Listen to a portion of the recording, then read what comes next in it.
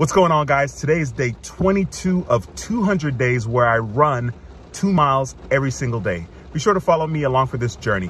Today's thought of the day, control your thoughts or your thoughts will control you.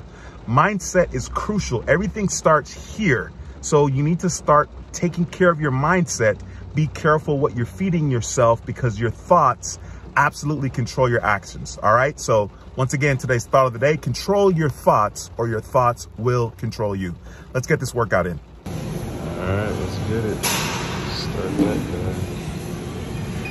Go on this guy. 6.2 starting off.